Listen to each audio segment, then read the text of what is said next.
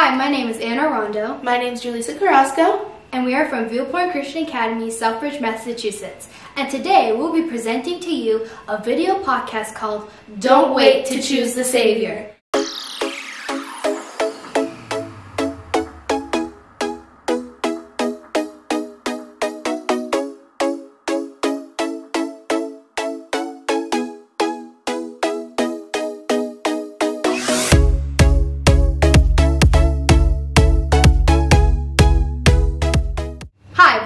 Cousin Duo podcast. I'm Anna.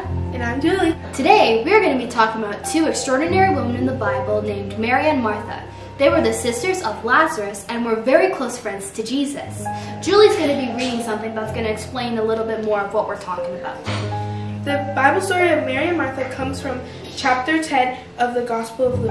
Mary and Martha, who are sisters, opened up their home to Jesus as he traveled with his disciples. As Martha hurries to ensure the preparations, Mary simply sits at the feet of Jesus and listens to the wisdom of Christ. Mary and Martha are two sisters with incredibly different focuses.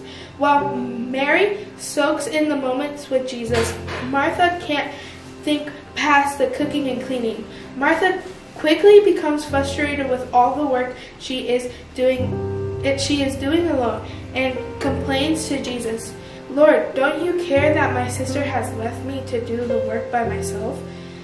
Tell her to help me.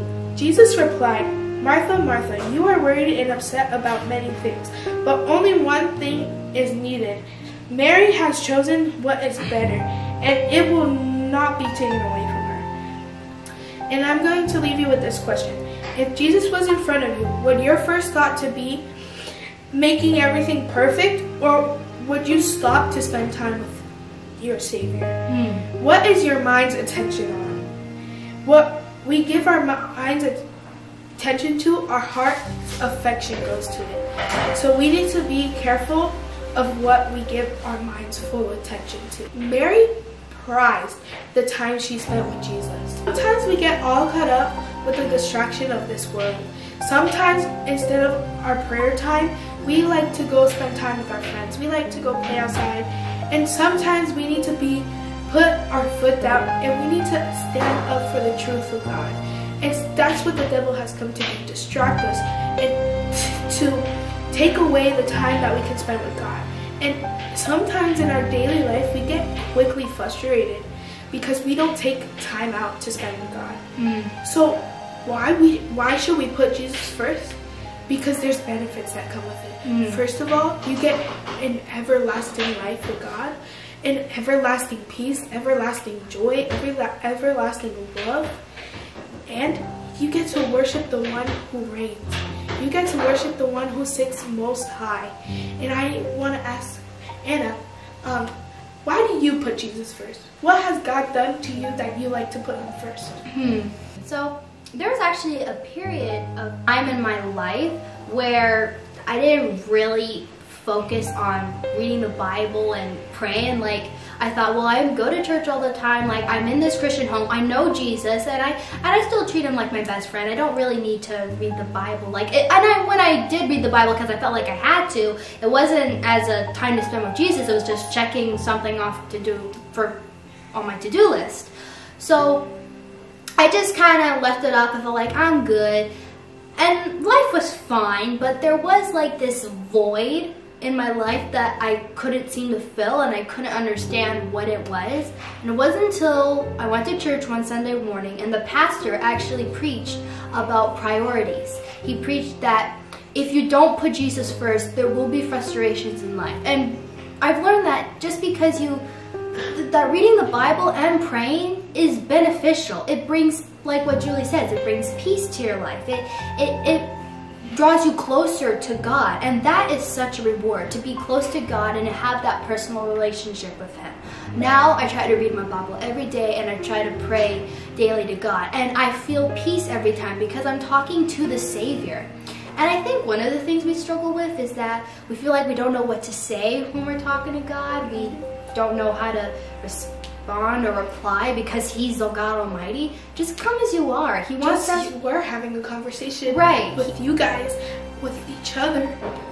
It's the same way God wants you to come to Him. God wants to know, even though He knows, even though you say that He knows everything, God wants you to tell Him personally how you feel, how how your day went, how, cause He, God, God wants us to come as we are. Sometimes it's gonna be hard. Sometimes we can be like Martha. Sometimes we want to make everything perfect. And I know I struggle with that. Sometimes I want to make everything perfect. And so and if we just can be like Mary, just forget about everything. Put everything, the distractions, everything that's holding you back for us for one minute. And I think now let's not assume in the story that Martha was the bad mm-hmm. guy. I mean like someone had to cook the food. but what the problem was that Martha, but she was condemning Mary for spending time with Jesus. She was so concerned with her own problems that she didn't realize that actually Jesus is in the room and that he wants Martha to come and spend time with him. And I think that's what like what we struggle with in life. We want our lives we're doing a bunch of good works just to be perfect for God. And like that's all good, but we have to make sure that we're spending time with Jesus because that is healthy in our Christian walk with God. And that's what Mary was doing. That's why Jesus blessed Mary because she chose Jesus, because she spent time with Jesus. She was awed by who Jesus was. Like Anna said, that we need to know what our priorities are. And because she didn't have her priorities straight, that's why she was frustrated. God wants to know why you're frustrated. God wants to hear it, but we just we I rather say at God's feet. Sometimes yes, stuff certain things are holding us back, yes. But we just need to take that step of faith.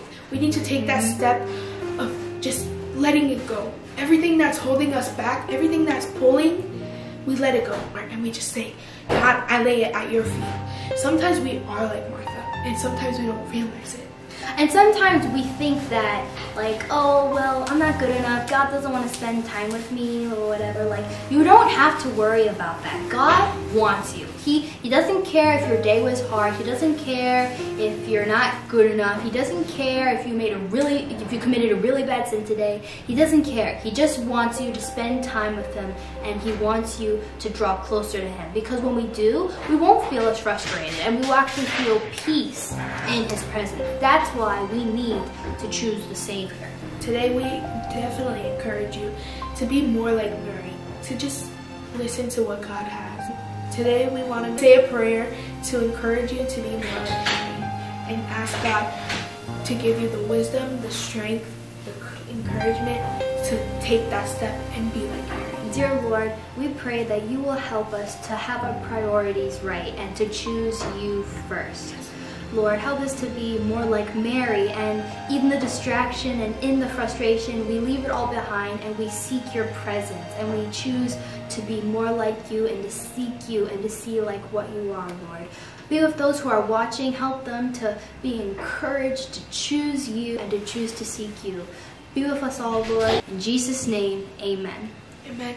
Thank you guys for watching. Don't wait to choose the Savior.